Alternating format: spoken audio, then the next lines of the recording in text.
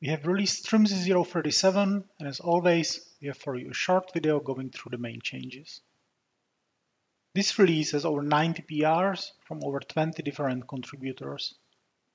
Most of the work in this release focused on internal improvements and refactorings, but there are some user-facing changes as well. So let's have a look at them. And let's start with the supported configurations. Strimzi 037 supports Kubernetes 1.21 and newer, and the last tested version was Kubernetes 1.28.1. The supported Kafka versions are Kafka 3.5.1, 3.5.0, 3.4.1 and 3.4.0. What's new in this release is that we now support the PPC64LE platform. One of the main changes in this release is that the Stable Connect Identities feature gate is moving into the beta phase and is now enabled by default. This feature gate was originally introduced in Strimzi 034 and it used Strimzi pod sets instead of deployments in the Kafka Connect and Kafka Mirror Maker 2 clusters. That means that it's also using stable pod names instead of random names, and that helps to reduce the disruptions during rolling updates. If needed, these feature gates can still be disabled manually. Another big change happened to the connector auto restart feature. In previous releases, Strimzi always tried to restart the connectors only seven times.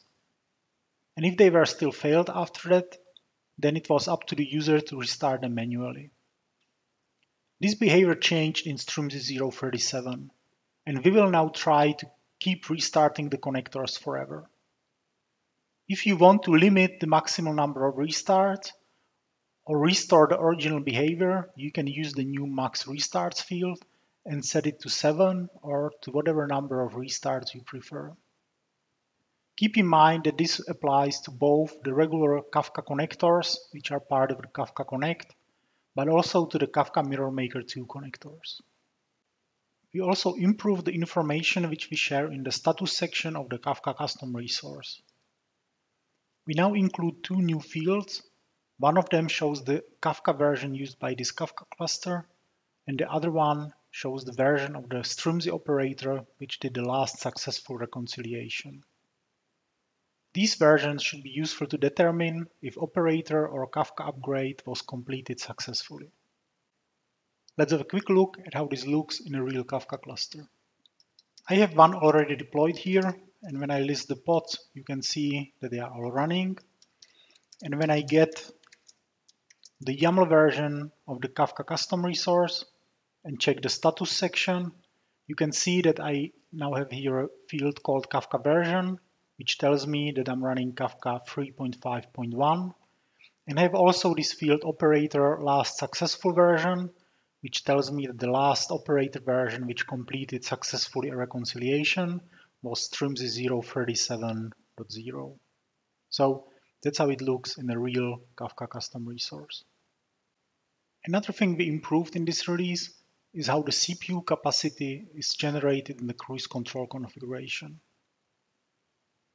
The way it is done is now using first the user configured capacity in the cruise control configuration.